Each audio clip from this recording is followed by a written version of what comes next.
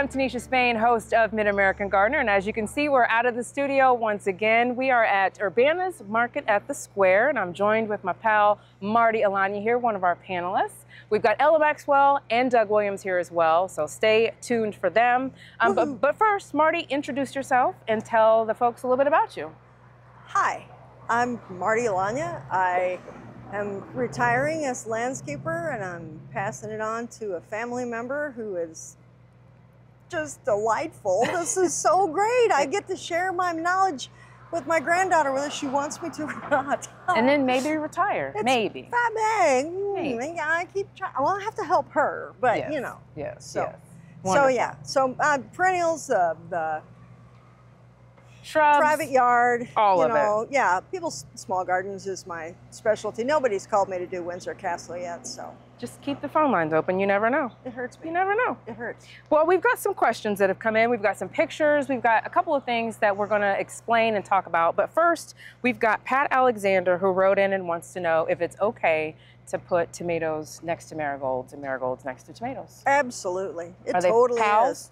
They are, and the marigolds will certainly help to repel some pests that you don't want to visit your tomatoes. Um, I rarely grow annuals Mhm. unless they're, you know, vegetables. and even then, I do as many perennials as possible. But I, I got two little pots, and I put annuals in them, and the rabbits climbed up on my porch Wow. and chewed them down to nothing, just like Heard a lot of that. and petunia. And the pots are this tall, and they're up on the porch. Oh, it hurt me. Very And bold. In my oh, oh Very ah, bold. Yes. like they own the place.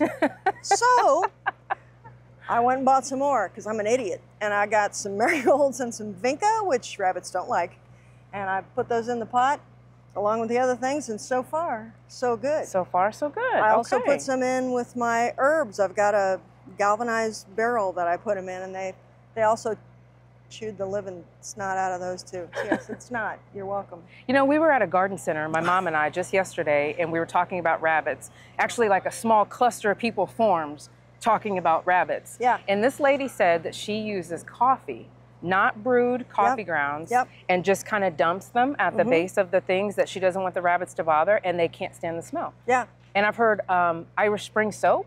Yes. Is that another one? Irish Spring is actually good for deer repellent as well. Okay.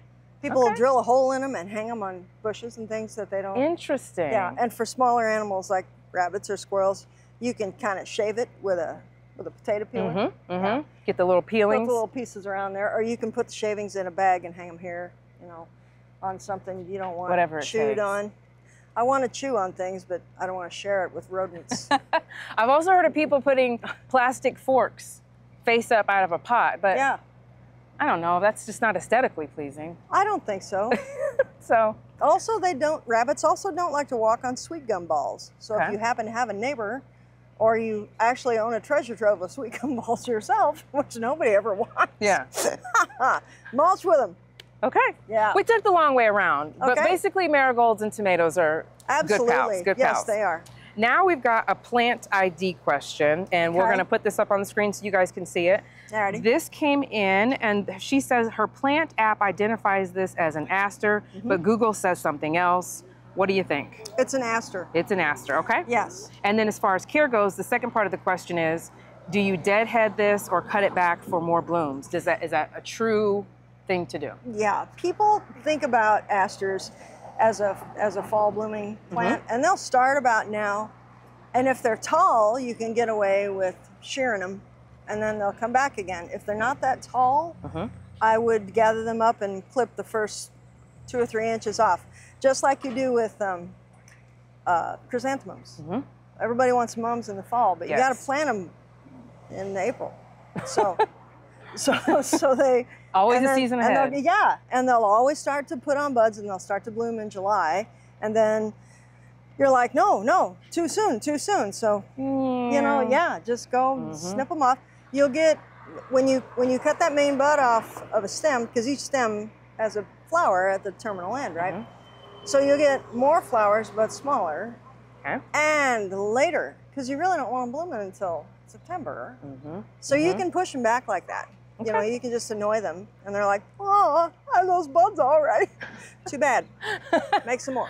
I love deadheading because of the surprise that you get a couple of days later when you've got all those beautiful, Oh, yeah. beautiful, beautiful blooms. Yeah. Unlike the petunias and things like Yeah. that. And salvia Yes. and catmint. yes. You give them a shearing, and they just it's a good reward. keep on ticking. Yeah, Yes. do. Now you've been out in your yard taking some pictures. I have. What's blooming in your neck of the woods? Well, I got a plethora of daylilies. Daylilies. And I'm It's gonna mention, time. yep, yep, we're Lots gonna have. Uh, oh yeah, Yeah. oh yeah, oh yeah, yeah, yeah.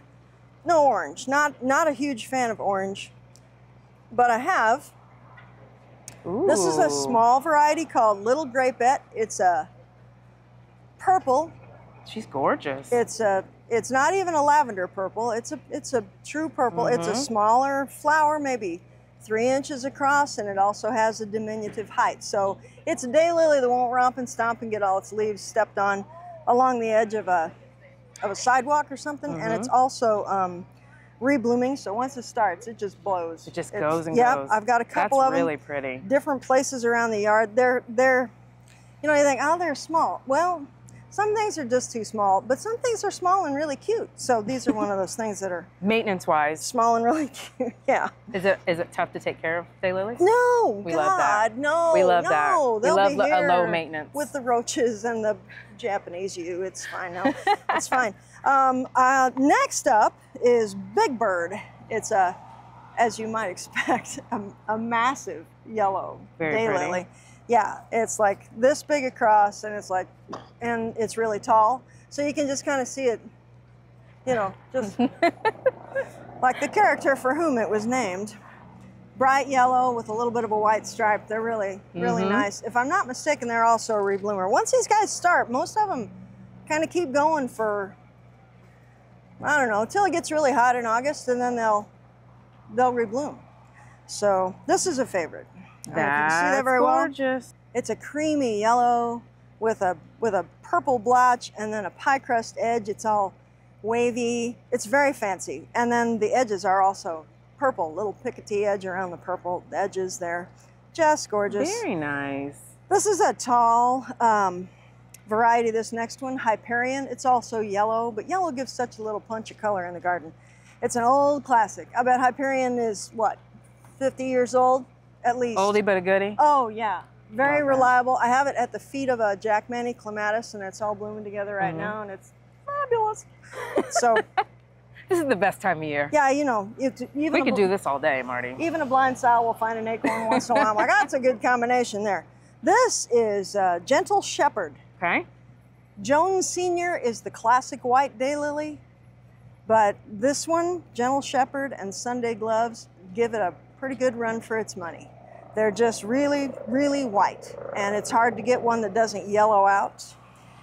And the very last one I have is called Cranberry Cove. It's just a medium-sized little daylily, but it's pink with a raspberry blotch and a green throat, and it's just it blooms That's and it blooms and it blooms some more. So it's delightful. Put it in the front of the daylily bed or in the front of the garden. It's medium height, maybe two feet, so you can appreciate it because it keeps on ticking. Love it. So All I think that's the last one I got here. Thank so. you, Miss Marty. I Sure. thank you so much for stopping by our, our farmers market day. Are you going to go buy anything and go check it out? Coffee, coffee would be good. DJ went and got a like coffee some? first thing. He dropped Yeah. bags and sh- beeline for a coffee. So we'll turn you loose so you he's, can go get one. He's my kind of guy. All right. We're going to go you. catch up with Ella and Doug. Marty, thanks so much for coming out. no problem. See ya.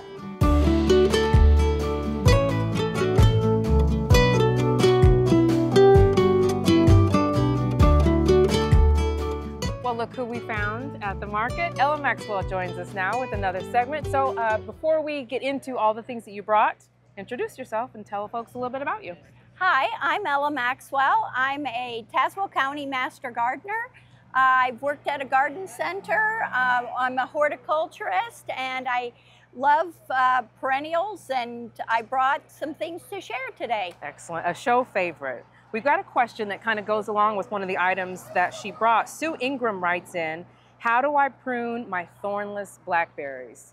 And you got lucky today because Ella has some. I brought some blackberries and I do grow the thornless blackberry. Let me just pull that out. Um, I brought raspberries too because the black raspberry is pretty much like the uh, blackberry. They are fruiting now. Mm-hmm. Do you want me to hold something? Can I help you? We've got we've got the fruit, and uh, this, of course, is a black raspberry. But once the blackberries are done fruiting and you've harvested the fruit, which will be in the next month by Okay. the end of July, um, then those canes need to be cut out because they're going to die back. And in the meantime, the new canes, the primocanes for next year's harvest, are starting to form. And that's the same way it is with um, the raspberries. So, what you want to do as far as pruning goes is remove the fruiting cane when you're done From this year. harvesting from this year. And then you want to tip back the new canes so they don't get so long and sprawling, and that will promote branching.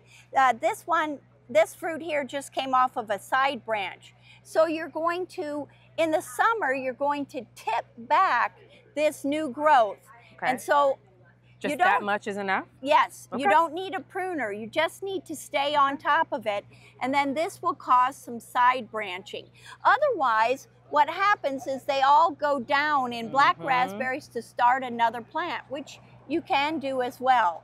But the thornless blackberries, of course, are the nicest because no thorns. Now, I do have some other berries here that have thorns. I wanted to ask you briefly on this one. Yes. I have these, and they are. I'm just trying to think of just just that tip part is all that you want to Yeah. take off. You don't want to cut anything largely back because they're kind of gangly. Should I train them on my trellis? Oh, right. Yes. Yes. Um, the easiest way to do that is to just uh, create kind of a square around it with Okay. with some um, uh, like um, rope or something like that, and then you can just keep them up in that space. This is a goji berry. So it's going to make kind of a little pepper-like fruit. It was a health craze plant. Mhm. It needs a, uh, support. It needs some kind of trellis because it just wants to keep vining. It's I don't really do anything with it. It's Do you eat the fruits? Uh, have you have you yeah. had them? Oh, I eat the fruits, but I only like them covered in chocolate. Another one is a gooseberry. Now this one also has thorns, as does the goji berry. So you need to be careful. Careful with that. Um, they're green and then they turn um, this red, dark purpley color when they're ripe. Mhm. So you can make a gooseberry pie. These are the wild gooseberries with these large thorns. There are several better varieties with much larger fruit. One is called Pixwell, Okay. if you really like. Um, but I think all the small fruits are great. Raspberries, I agree. blueberries, a little harder to grow. And of course, you have to protect everything from whatever wants to get them birds, rabbits, deer, Insects. and the like. all of yes, them, Everyone. Yes. Everyone's out to get your your berries. That's it. Oh, that's it. Oh, no, no, I did bring one other thing. Okay, I probably bought this at a plant sale and thought that it was the wild strawberry of my youth. And Scientific name? it's not a strawberry at all. it does have a scientific name. You can look it up. It's called the mock strawberry Strawberry. or the Indian strawberry. It is an exotic, um, invasive weed, and you can see these runners. And you know it's the mock strawberry because real strawberries have white flowers. This has a yellow Oh. flower. Real strawberries have fruit that are facing downward. Okay. This one has fruit that is facing upwards, and the most important thing is this is tasteless. Just So if you see these at a if you see these at a plant sale and they're small starts, is Right. there any way to know at that stage? there's not. There's not. Okay. And so people think they have these wild strawberries, and this plant is is creeping everywhere in my garden. yeah.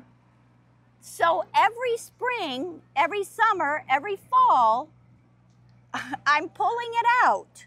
So this this could have potential to get invasive and kind of get into right, everything. right. Yes, it can. Now it does make a good little ground cover patch, but Mhm. it can get into your lawn weeds and such. Mhm. And because I don't really like to use chemicals, I'm just hand pulling it. How long has this been a problem in your? Is this the first year you've had to pull Oh, this? No, no I, I've tried to be on top of it, but it really hasn't worked. Are there any other weeds in your yard that are that you see every year coming up? I'm battling thistle this year. Oh, luckily I do not have thistle. I'm battling thistle. Okay. it's not fun. And Right, It's not fun. So when you said hand pulling, because Right. I've been doing a lot of that. I, I have been pretty vigilant with weeds, but they still get ahead of you. You can't stop. It really makes a difference in your garden. Uh, I think mulching helps. I try to leave most of my leaves and I plant kind of densely together. Mhm. Um, but they, they still sneak in and um, I'm, I'm pulling them out and, and then usually I compost everything. The compost usually gets hot enough to kill most of the weed seeds. Mhm. And the compost that I use really goes back in my garden that's covered with straw. So I don't have that much of a weed carryover problem. But just staying on top of it is the, the oh, key. yeah. Doing Yeah. a little pulling every day. Well, If or, you or can. a lot. If, if, if you have a large yard, it's never ending. That's and true. that's the problem that I have. That's Too true. big of a yard for as much weeding as I'm willing to do and my husband's willing to do. Gotcha. Well, Ella, thank you so much for stopping by and seeing us at the farmers market today. Are You going to go do any shopping? Oh, Oh, we, you already we've did. already shopped. And she bought plants, ladies and gentlemen. That's so- right. All Food right. and plants. Thank you, Ella. Thank you so much.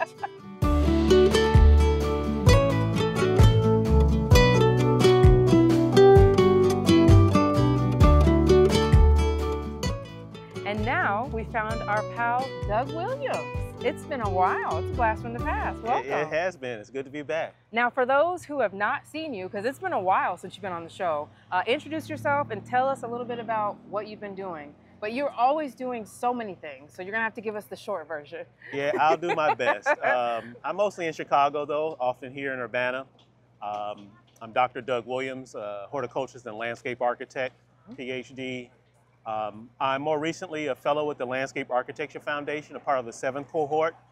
And my project that I've been working on is called um, K 12 STEAM Education with the landscape focus of making things happen. Uh, I hired a, a young person from Michael B. Jordan's production team who has a production company called Great Fire Productions. And we've done about six productions. They're called mini docs. They're about four hours long, culled down to about mm, four to seven minutes. So Wow. hopefully, maybe with all of 12 being done, we'll have one full documentary of youth making something happen landscape wise. We've done National Parking Day, National Honeybee Day. Nice. We partner with uh, close to 50 different organizations. Uh, Christy Webber has made some donations. Mhm. The Southside Community Arts Center. So you are um, everywhere. You're everywhere. in front of the camera, behind the camera, in the garden, just making moves. Yeah, and I work in film and television too. Uh, besides being the longest term here with the Mid American Gardener Show for about two decades. Yes. But uh, popular shows like Empire, Proven Innocent. Um, we're shooting something with uh, Steph Curry. Uh, we filmed something recently with uh, the great Forest Whitaker. Nice. Um, but I'm also back here in town often for the Ebert Film Festival, which celebrated 25 years this year. Wonderful. So landscaping is your specialty, one of them anyway. Mhm. And we, we just popped in on this corner here. We're at Urbana Market at the Square. And we just popped in this corner, and this is Doug's specialty. So we're going to talk a little bit about how this was set up, what some of the plants are that we have in here, and, and what goes into setting up a corner like this. So talk to us a little bit about the idea here and what we've got. Well, I didn't design it, but I'm just going to share Yes. I could have. Um, first off, you got a nice corner uh, design. We're in a parking space off of a major thoroughfare here in Urbana. We're at this wonderful market, so you can see the activity. So you want visibility. Um, you want eye height uh, so that pedestrians and auto traffic and other modes of traffic are visibly uh, clear for safety. Uh, we've got, of course, the wonderful uh, perennials that are here. For color, we've got uh, echinacea, or Mhm. what we know very commonly as purple coneflower. Uh, even the seed heads after the petals are gone are still quite interesting Mm-hmm. and uh, has a nice interest. Um, we have um, behind here, just to give even winter interest, is the taxus, uh, which is yew. That's a Y-E-W. It's a smaller hedge. It can be pruned short. They have some that are as tall as, you know, 20 or 30 feet. Mm-hmm. And then behind that, I believe we have uh, Amelanchier arborea, which is um, a service berry, which has these wonderful berries that you can actually eat. uh, if you get to them before the birds do. I Uh, want to ask you a question. yeah. We, we met with Rusty Malding a couple weeks ago, and he was talking to us about paying attention to what trees are in the landscape for when yew're going to plant underneath it. So, was this a good decision here? The you, the tree, and it's for sunlight needs? Was this well thought out? I think so. I mean, Yeah. the tree has a nice uh, mature height right now. It's limbed up and it's pretty tall. Most of them are usually a little bit shorter. Mhm. Um, and so you have enough sunlight. And usually pretty tough plants. They aren't ones that are going to, you know, piddle out. And Mhm. if so, you can probably find another species or another cultivar to bring in. Um, Okay. then we got some ornamental grass back there. Looks like miscanthus or maidenhair grass. We Mhm. have uh, one of my favorites, threadleaf coreopsis. Um, has a very fine texture, This um, is pretty. and the flowers are kind of here and there, like little stars of uh, gold and yellow. And that plays well because the complementary colors, if you think about, you know, when you're painting or, Yes. or even now as an adult, um, you have uh, those colors that are opposite on the color wheel, both yellow and purple, much like green and red. And Mhm. the other one is, of course, University of Illinois colors, orange and blue, right? Now, this is a perennial. Yeah, these are perennials here, so they'll come back. So that's what's nice about them. You plant them, they'll begin to spread. Uh, in some cases, if they're in your home garden, you can share them with neighbors because you Mhm. need to divide them up. But for the most part, it helps fill in, keeps out many of the weeds. I can see that they've had, uh, I see the spent tulip heads that are sticking out. Mhm. And so those will come up earlier than this actually leaves out. And so you have a combination of uh, timing. And so with that, as the, um the tulips uh, absorb energy with their leaves still remaining, you have the coreopsis come up and the other Mhm. perennials that'll play into that. Mhm. Uh, I also see some liatris uh, in the back uh, with the purple uh, spike Mhm. um, floral uh, expression. And then we also have, I think, butterfly bush. Yes. If we come down here a little bit further, right next to some of our purple coneflower, which you know about because you can have uh, their teas. It's, uh, I Mhm. think Ooh, it's look for- at the head on this one. yeah, it's a little. That's kind of unique. it's isn't it? unique. It's a. It looks like a number eight, huh? It does. and you so don't see that every day. that uh, the beauty of imperfection. Uh, I'm a member of the Ikenobo School, the old school of Japanese flower arranging, so that would be something I would uh, love to uh, arrange from because it has some unique interests um, That's really than neat. just what's typically found in uh, echinacea. And then this is a uh, milkweed. Yes, and I wonder if it's that time yet. You I don't see any? see any. And we have we're looking for um, the monarch butterflies because it, it's the one plant that the monarch Yes. butterfly will lay its um, its eggs on because that's what the larvae will eat from. Uh, and so if you want to attract monarch butterflies and Mhm. also give them the habitat that they need, uh, it's really important.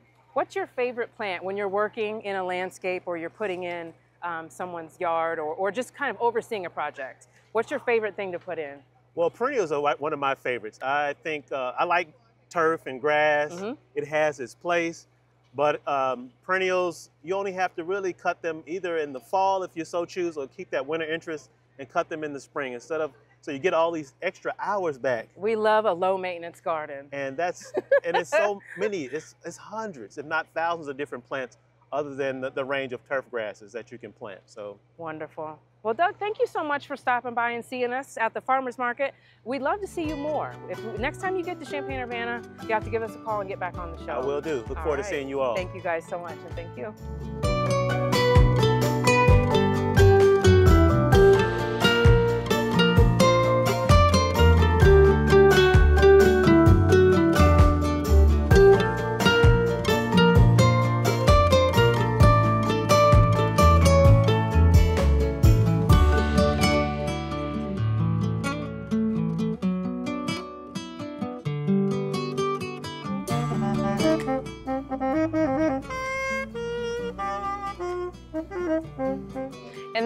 The show for this week. Big thanks to Ella Maxwell, Marty Alanya, and Doug Williams for coming out. And also a big thank you to Urbana's Market at the Square for letting us come and hang out today. I'm gonna go do a little shopping when we finish here because there are a few things I had my eye on back there. If you've got questions for our panelists, send them in to yourgarden at gmail.com. You can also find us on socials. Just look for Mid American Gardener. That's it for this week. We will see you next time. Good night.